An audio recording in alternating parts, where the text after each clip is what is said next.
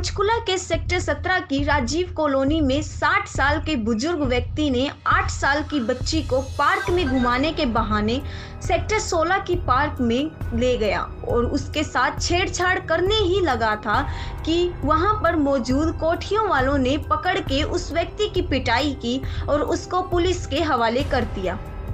बच्ची के पिता ने बताया कि यह हमारे दो घर छोड़कर ही वह व्यक्ति रहता है। पुलिस ने किया कोर्ट में पेश जहाँ से आरोपी को जेल में भेज दिया गया। देखे पंचकुला से कपिल नागपाल की रिपोर्ट। हाँ जी अ, क्या नाम है आपका? जी तो बेटी के साथ क्या हुआ था?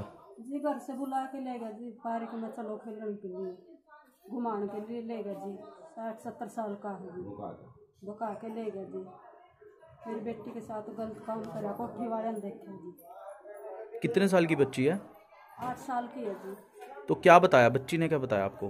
बच्ची ने ऐसे बताया जी जी खोल के ने उसने बोले मेरी ये चीज़ पकड़ो जी। तो अभी क्या किया? पुलिस ने आगे की कार्रवाई क्या किया अभी? उसने कार्रवाई करी है जी जेल में पहुँचा दिया। अच्छा। तो कब? तो अब बच्ची ठीक है ना आपकी? बच्ची तो ठीक है जी। अच्छा ठीक है ये लालच भी दिया जा रहा है? हाँ, दिया जा रहा है जी तीन लाख रुपया का। अच्छा क्या कह रहे हैं? ऐसे बोल रहे जी पलंटी लगवा लो आप पैसे ले लो। अच्छा। ठीक है। हाँ जी अंकल क्या नाम है अपना? तो क्या हुआ था बच्ची के साथ बताएँगे थोड़ा? हम तो थे नहीं मत करा था। मेरा तो क्यों जाया नहीं जाएगा? वो घर से ले गया था बोल का बुढ़ा बोला आ जाओ खेला खिलाऊँगा और को। ठेला ने पकड़े हमारे घर का कोई था ही नहीं लोग उन्होंने खुद रिपोर्ट दी पीट तो वो बंदा कहाँ रहता है? वो बंदा यहाँ रहता है योगा अच्छा। तो क्या बोल लड़की ने क्या बताया? तो क्या बोला उसने?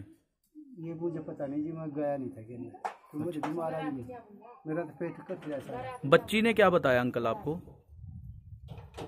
नू नुन्नू हरकत कर रहा था पापा मेरे साथ। कितनी उम्र का बंदा है और बच्चा कितनी उम्र का है? लड़की थी यार छोटी ही यार। कितने साल की है? तो अच्छा। तो की। बंदा कितनी उम्र का था? बंदा तो बुढ़ा सा बड़ेरा सा साल का